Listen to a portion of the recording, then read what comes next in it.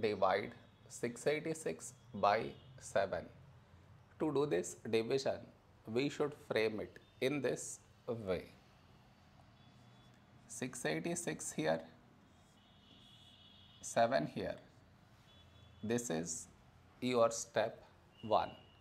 Next, here we have 6, here 7. 6 smaller than 7, so we should take two numbers 68.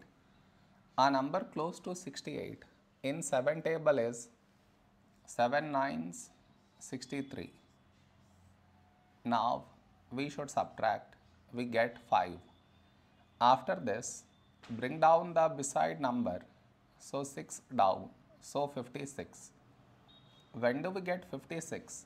In 7 table, 7 eights 56. Now we subtract, we get 0.